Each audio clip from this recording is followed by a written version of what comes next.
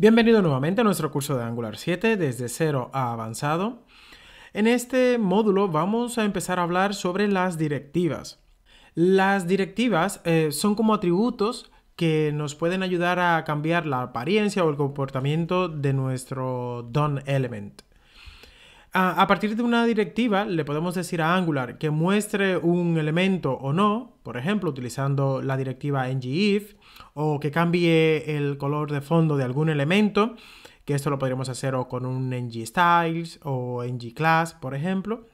E incluso eh, podemos crear nuestras propias directivas, pero eso lo veremos en la siguiente lección.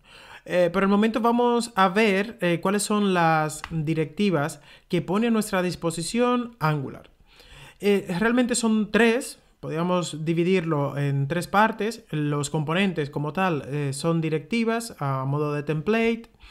Luego tenemos las directivas que son estructurales, que son con las cuales podemos cambiar el DOM, ya sea añadiendo o removiendo un elemento. También tenemos directivas de atributo o directivas que no son estructurales, también conocidas. Podemos cambiar la apariencia o el comportamiento de un elemento, de un componente o incluso de otra directiva. Las directivas que son estructurales tenemos la ngIf, ngFor, ngSuite. Existen más, pero estas son las principales o las más utilizadas. Y las directivas de atributos o directivas no estructurales, podríamos decir que eh, es el ngClass, ngStyles y ngModel. ngModel, en el ejercicio que hicimos luego de la, del módulo 9, vimos algunos ejemplos. E incluso en la lección anterior hemos visto ngFor. Así que vamos a verlo un poco más de lleno ahora, eh, haciendo ejemplos. Vamos hacia nuestra terminal o consola.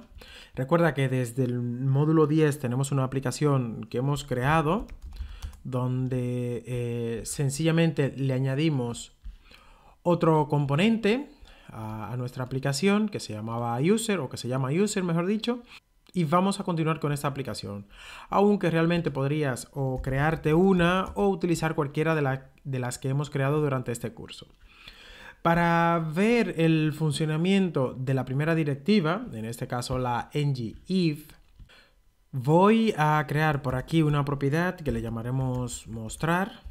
Esta propiedad, propiedad será de tipo booleano y por defecto será through.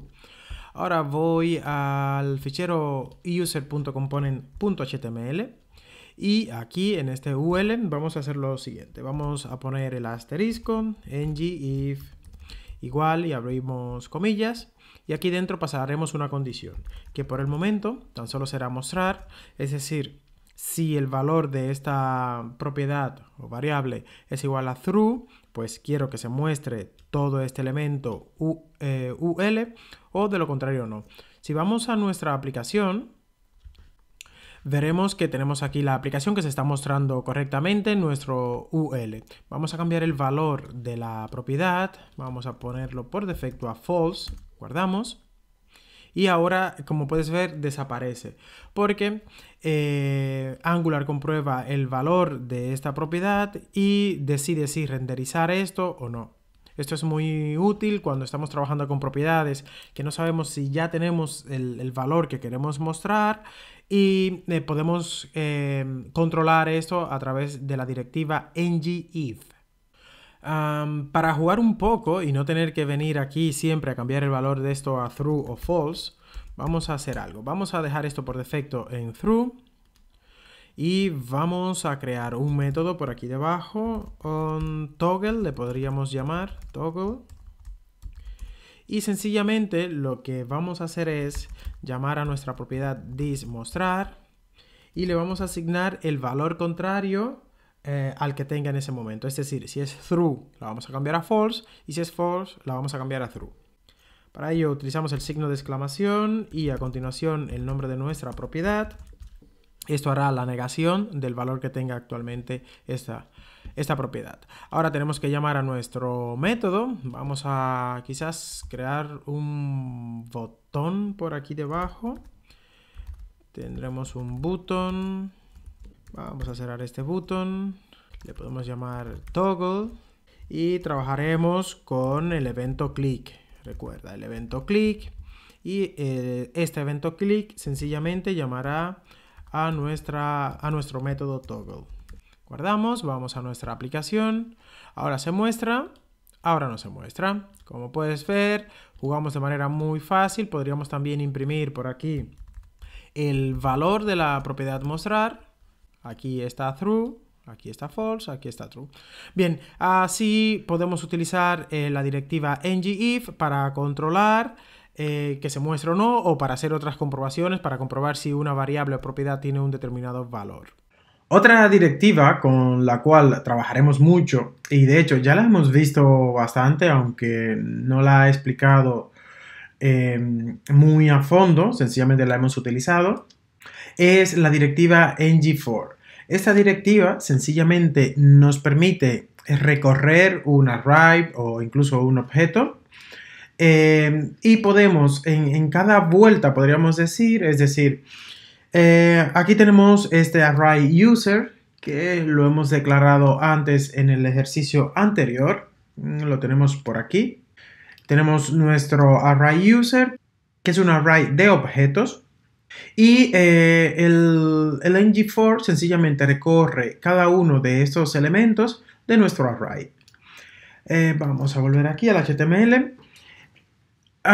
Esta directiva es una, de las directivas estructurales de Angular. Es estructural porque puede cambiar la apariencia de nuestra aplicación, eh, ya sea añadiendo un elemento o removiéndolo incluso. En este caso lo que hacemos es eh, añadir eh, cada uno o el total máximo de users que haya en nuestro array, en este caso son tres, y es lo que hace esa directiva. Como vimos en el ejercicio anterior donde estuvimos viendo el Elvis Operator, sencillamente abrimos el asterisco ng4 igual, declaramos una variable, ponemos una variable local, que en este caso se llama user, pero se puede llamar eh, de cualquier manera. Podemos llamarle items. Y por supuesto tendremos que modificar aquí nuestro ítem. Si guardamos y vamos hacia nuestro frontend, como puedes ver se sigue renderizando de manera igual porque eh, esta variable local da igual cómo se llame, lógicamente. Si le modificamos el nombre a nuestra variable local, debemos modificar eh, la manera en la que accedemos a esta propiedad. Y la próxima directiva que vamos a ver, eh, vamos a limpiar un poco esto antes de continuar. Esto también lo podemos limpiar. Eh, la próxima directiva que vamos a ver también es estructural, con lo cual puede modificar la apariencia de nuestra aplicación. Y es la ng suite. Mm, vamos a, vamos por aquí debajo, a crear un nuevo div. De hecho, lo tendremos por aquí. Voy a crear un div. Eh, no tendrá ninguna clase. Y dentro de este div voy a crear... Eh, mm, vamos a crear tres, tres div como este por aquí. Con una clase block para ponerle un poco de estilo para que podamos percibir la, la diferencia de lo que quiero mostrar.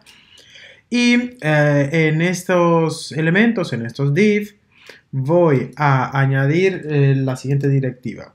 Eh, son parte de la directiva ng suite, es decir, necesitamos utilizar ng suite case para comparar cada una de las opciones. Entonces, ng switch case y esto será igual a un determinado valor vamos a continuar, o mejor dicho, vamos a aprovechar el ng4 que tenemos aquí y eh, vamos a utilizar users y esto es un array y esto lógicamente lo tenemos que modificar, esto será 1 y de hecho este tendrá que ser nuestro default o podemos crear podemos crear un cuarto para el default vamos a duplicar este div y esto lo vamos a modificar con el ng switch default.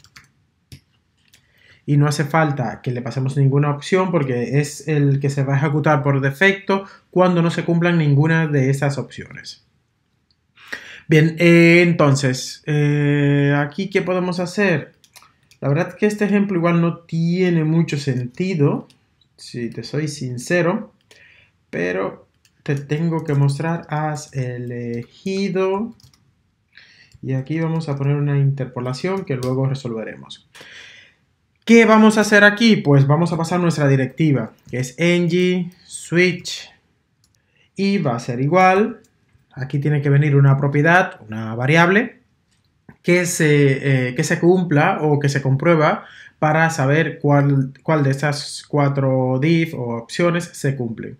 Voy a poner una propiedad que se llame selection, por ejemplo, ahora la vamos a crear.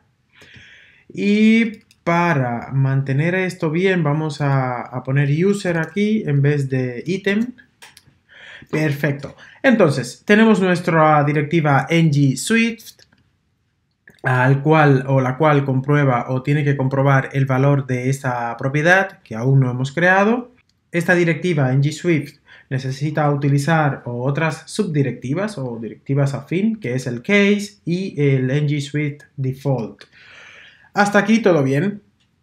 Em, vamos a vamos a vamos a trabajar Vamos a poner el selection aquí dentro. Selection, selection. Bien, de momento lo dejamos así. Vamos a crear esta clase que es lo, más fácil eh, por ahora. Sencillamente para que no se vea tan horrible en, la web.